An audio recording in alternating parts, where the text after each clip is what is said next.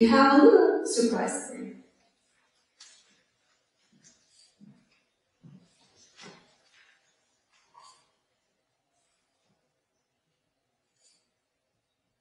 Hello, I'm Brent Michael Davids, uh, the composer of the solo flute work you're going to hear, and I'm coming to you from the reservation.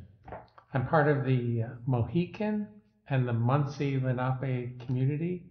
Um, we're the only federally recognized Mohicans and Munsees in the entire country. And um, I'm honored. Thank you, MacPhail, for including me in the program tonight, and welcome everyone to listen to the performance. And I wanted to say I'm really proud to be on the same program with my longtime friend Louis Ballard.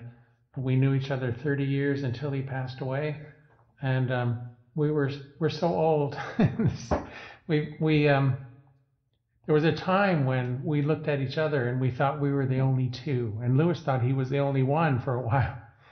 So now there's a lot more native composers, and and uh, it's a good thing. It's a good day.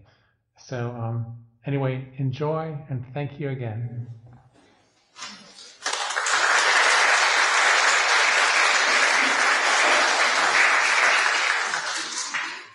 Please welcome Julie Johnson.